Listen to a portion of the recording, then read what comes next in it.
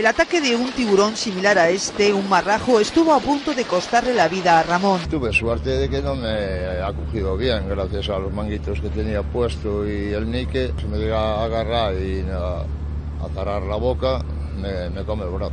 El escualo de metro y medio se resistía encubierta a ser capturado. Este marinero de 50 años luchó con todas sus fuerzas para deshacerse de sus cauces. Tenía miedo de que me había pillado alguna vena, porque sangraba mucho.